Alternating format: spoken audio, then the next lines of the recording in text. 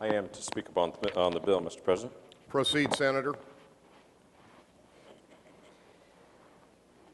I am comfortable that each of us, Republican, Democrat, pro-life, and pro-choice, agree with the following statement.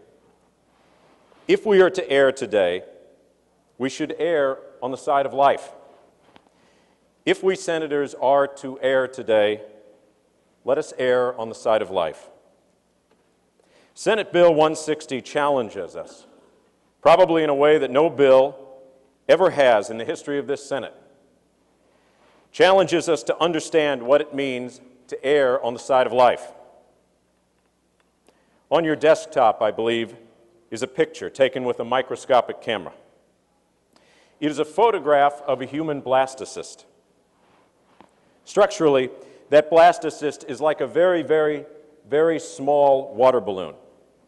And floating in the solution in the upper left are tiny building blocks called stem cells. If you were to puncture the wall of the blastocyst with a pipette and extract the building blocks floating inside, you would possess a material that can live and grow independently from the blastocyst. If you were then to apply various proteins to these building blocks, you would cause their genetic code to change and you could push them to metamorphosize into any type of cell in the human body that you wanted them to become. A heart cell, a brain cell, a pancreatic cell, or even a spinal cord cell. If you turn them into a pancreatic cell, you would hold in your hands the clues to type 1 diabetes, a disease that attacks the pancreas of a young child. Type 1 diabetes, as all of us know, is incurable. And while we can control the disease through synthetic insulin, the invariable fluctuations in a patient's blood sugar will over time prematurely harden every artery in the individual's body, leading to a loss of eyesight, heart attacks, premature heart disease, and the amputation of limbs. But just maybe, no, not maybe, probably in time, those stem cells could be used to rebuild the child's damaged pancreas. If you were to turn the stem, stem cells into the cells of the lower brain, you may find yourself at the doorway of understanding amyotrophic lateral sclerosis, Lou Gehrig's disease, a disease that over a period of months will destroy every single muscle in a loved one's body. Initially, motion is restricted, then partial paralysis, total paralysis, incontinence, the ability to move one's tongue, to speak, to swallow, and finally, to breathe.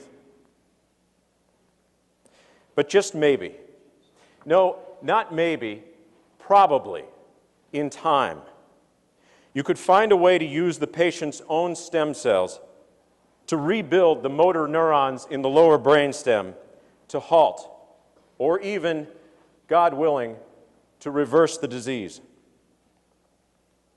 And if you could turn the stem cells into spinal cord tissue, just think what you could do you could find a boy who, through his own misjudgment, or maybe through someone else's misjudgment, or maybe through no one's misjudgment, found himself paralyzed from the chest down in a crumpled car on the side of the road in his 17th year. A man who, over the course of 23 years, has watched all the muscles in his legs deteriorate. And yet, while his legs refuse to move, they nonetheless insist on twitches and spasms that are uncontrollable and leave him exhausted, continually fighting against his own body.